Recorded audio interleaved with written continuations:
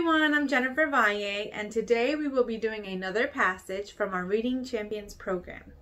Today's passage is geared more towards our fourth and fifth graders, but we encourage everyone to listen along. Parents, there is a link in our newsletter that you can click on so that you can have the passage on your screen or print it out and follow along.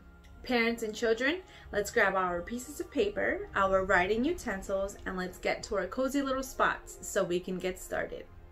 The title of this passage is Mother Teresa.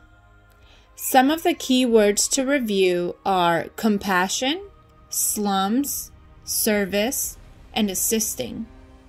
Kids, what I would like for you to do is on your piece of paper, write down the first thing that comes to mind when you hear these words. Now, the story. The Nobel Peace Prize is awarded to people who have worked to help bring peace to the world. In 1979, this honor was given to Mother Teresa, a nun who worked with the poor in Kolkata, India. Mother Teresa was born in Eastern Europe. At age 18, she traveled to India to join a convent and teach high school. Then, when she was 36, she felt a divine calling to stop teaching and help the poor.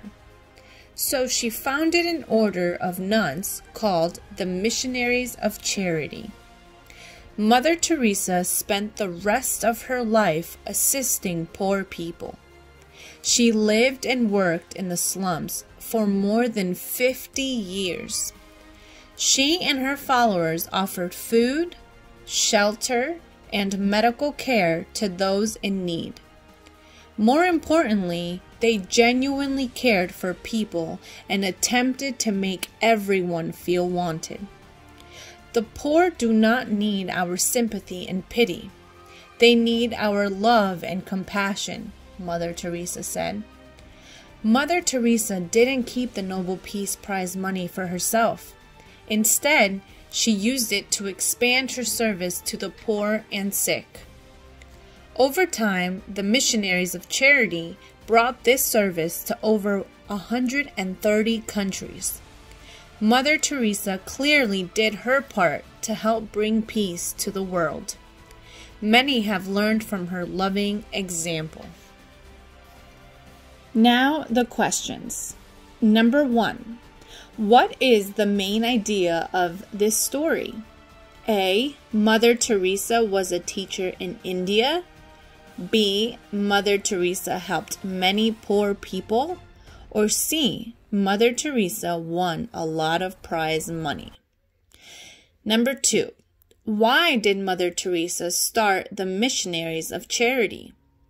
A. Because she wanted to win a Nobel Prize. B. Because she had stopped teaching. Or C. Because she felt a divine calling to assist others. Number three, what does the word nun mean in this story? A. A woman in a religious group.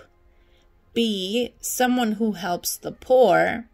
Or C. Someone who wins a prize. Number four.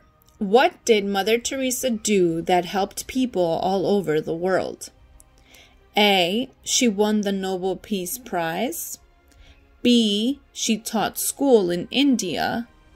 Or C. She expanded the service of the missionaries of charity. Number 5. List ways that Mother Teresa and her followers took care of poor people. Number 6. A synonym is a word that has the same meaning as another word. Match each word with its synonym. You will match 1. Founded 2. Genuinely 3. Shelter 4. Example and 5. Attempted to either A. Protection B. Model C. Sincerely D. Tried or E. Started. And number seven, number the events in chronological order. Mother Teresa founded an order.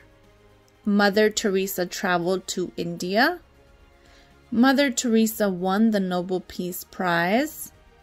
Mother Teresa's order spread to over 130 countries. And Mother Teresa felt a divine calling to help the poor. All right, guys. Well, I hope you enjoyed learning about Mother Teresa as much as I did. She was an amazing woman. Now it's time for our spelling quiz. You will have 14 spelling words, and they are chosen from our passage. Are you ready? Number one, nun. Number two, divine.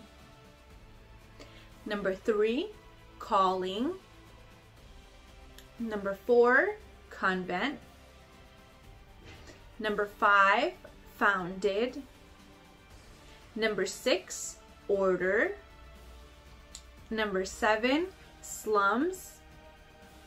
Number eight, shelter. Number nine, sympathy. Number 10, pity.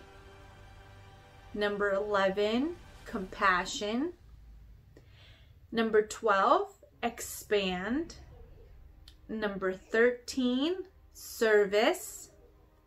And number 14, example. Try your best, guys. I know you can do this.